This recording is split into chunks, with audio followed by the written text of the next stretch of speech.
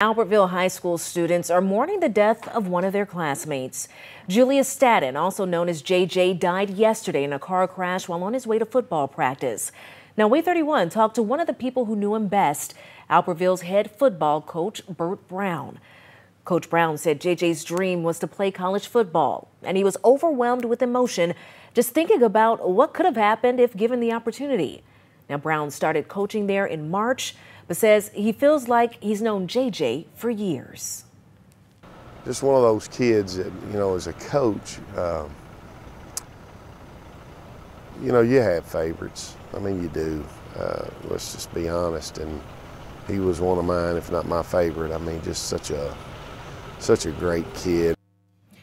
The football team is grateful for the support from people all across Marshall County. Now, there is a GoFundMe page that's set up to support the Staten family, and at last check, more than $20,000 was raised.